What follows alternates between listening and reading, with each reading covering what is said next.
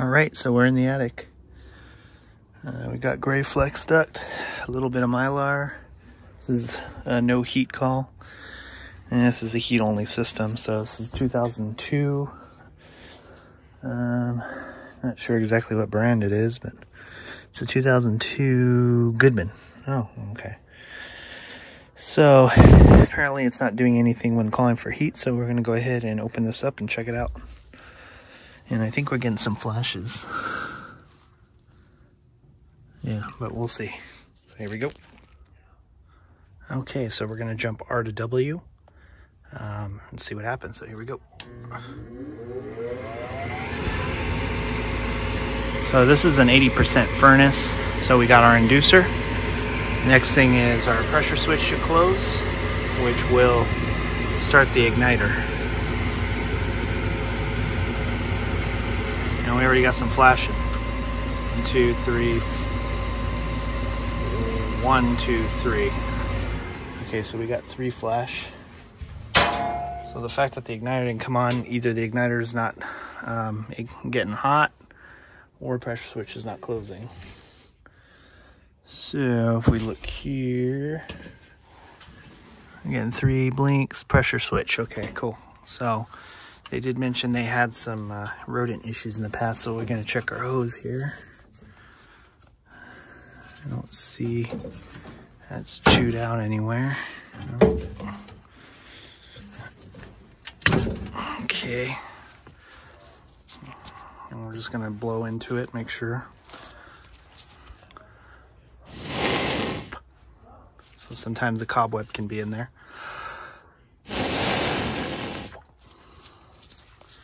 And then what I like to do in case there's some crusties, you just kind of squish it so that'll break up any anything solid in there. And actually, yeah, this hose is probably a bit long, but all right. So next thing we're gonna do is the little port in there. We want to clean it out. I usually use my little tool here. Sometimes some stuff can get caught up in there. And same thing with the pressure switch.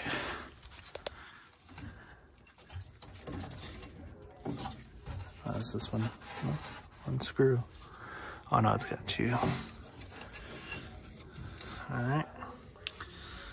So we're gonna go ahead and put this back together and try it again. Okay, so here we go again.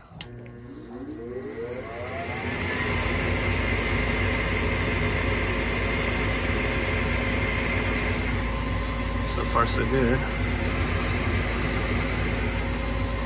And no.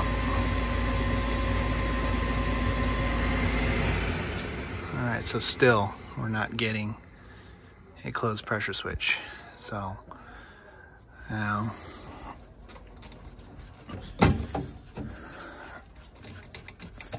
what we're gonna do now is we're gonna pull these wires off and we're gonna get our tester and we want to make sure that the wires are good sometimes it could just be bad wires. You want to do all this before you start replacing parts. That way you have a full picture of what's actually going on. And we're going to be testing the um, inducer as well. Make sure it's pulling enough pressure so by hooking up a manometer to it and making sure it's pulling what it's supposed to so. Okay so we got um, continuity set for our tester so when the inducer comes on, it's supposed to be pulling 0.35 inches water column. So it should get a tone once it uh, ramps up. So here we go.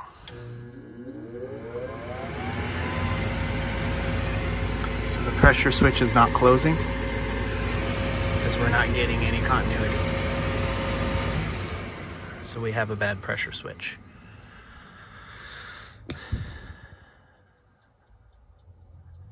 Possibly could still be the fact that this isn't pulling enough, which we want to double check. So I'm gonna go ahead and we're gonna get set up to check to see how much pressure this guy, how much vacuum it's producing. So let's go get our manometer. Okay, so we got the manometer hooked up. So I'm using a T here. Um, that way you get an actual reading because if you go direct, it's a it's not a correct reading. You want to read what the pressure switch is reading. So anyway, uh, we need uh, 0.35 inches water column for this to close. So here we go.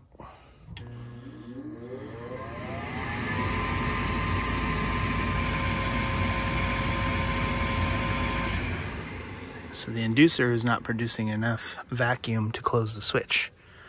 So now we got to find out why.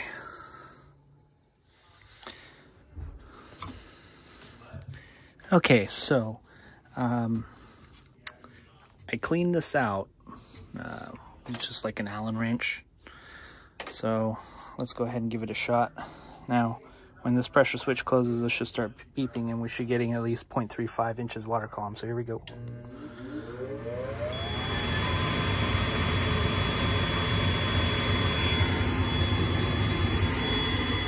So it looks like it's just dirty.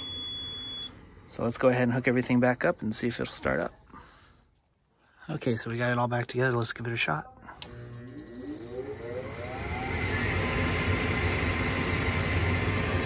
So if this works, we should get the igniter.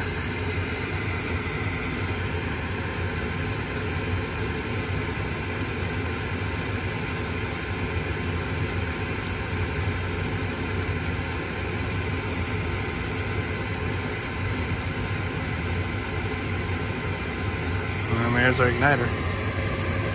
Up slowly.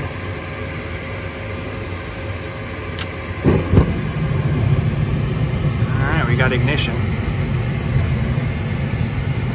And we should get fan last at the very least.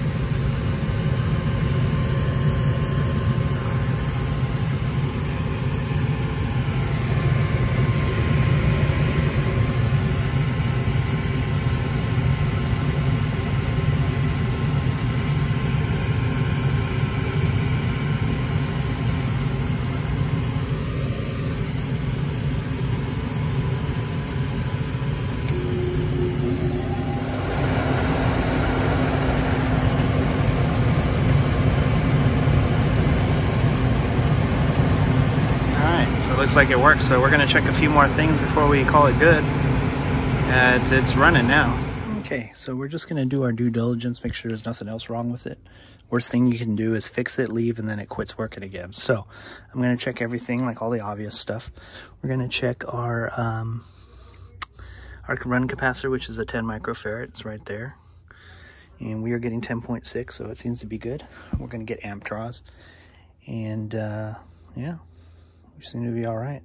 We're going to check the gas pressure and we're going to ohm out that uh, igniter too. Uh, that way, if there's any problems, we can let them know. And um, they don't want to be proactive. At least if we covered all our bases. Um, and I just might do a static, total static pressure test on this thing because these ducts are just not, not in good shape. Although, yeah.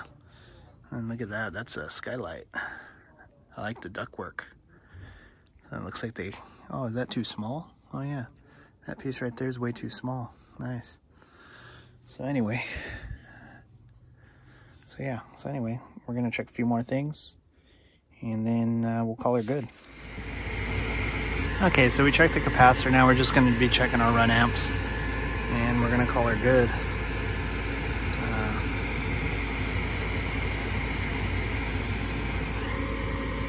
Uh, we're to check our blower motor. This one's supposed to be at um, 7 amps max. So this one's not running at full speed for heat. I think it's on medium high. Okay, so lit up. And then I'm to go ahead and check our inducer run amps.